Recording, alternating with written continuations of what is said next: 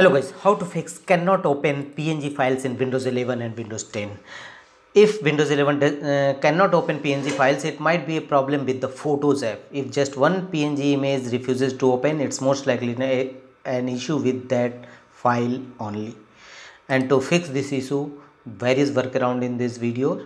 And the first workaround is right click on a start button, choose run command box and type cmd and press Ctrl Shift plus Enter to open Run Command Windows as administrator mode. Press yes and in command prompt Windows execute the command sfc scan now.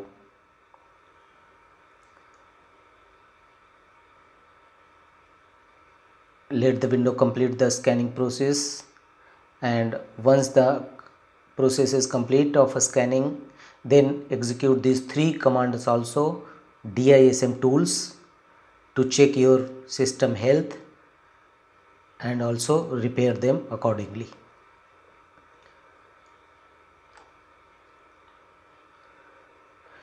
The next workaround is change the default image viewing software. Open Windows settings, click on apps choose default apps. Here look for photos app. Scroll down and you will find the photos app. Click on it. In the next window you will uh, you see a list of file types that are opened with the photos applications. Here look for png extension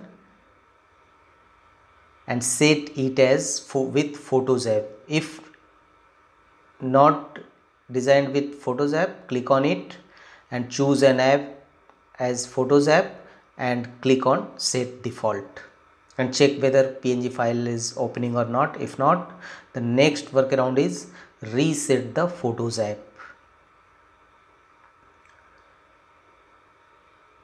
go to app section.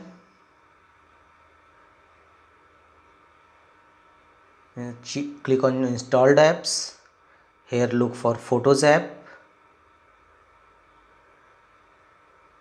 Click on three horizontal dots and choose advanced options.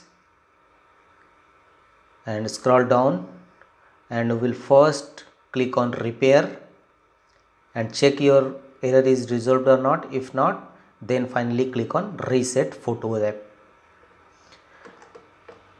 And the last option is if these workarounds not help then convert the png file to another file format.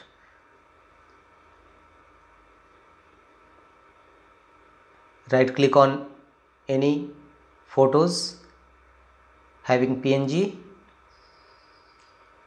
and open with paint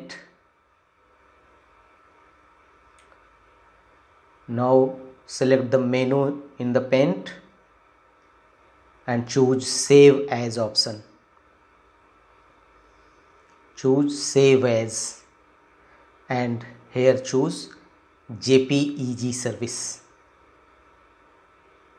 After converting the file, uh, photo file format from png to jpg it